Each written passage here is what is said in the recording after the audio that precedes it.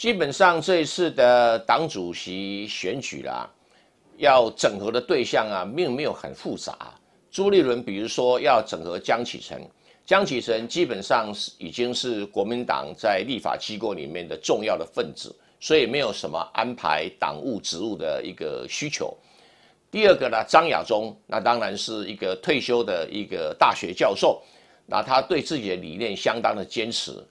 可是他的学问非常的渊博，所以朱朱立伦想安排他担任国民党智库的副董事长，这应该是一个不错的安排。但是张亚中认为呢，他个人的想法跟朱立伦的想法有距离，那么在运作智库的时候，可能也会有一些。比较要调整的地方，因此呢，他就给予婉拒了。所以已经提供了这些党职呢，张亚中呢不接受。那基本上呢，这种团结的意识也表达到了。那还有一位卓博远呢，这一次的党主席选战的表现呢，是一个相当的不如理想。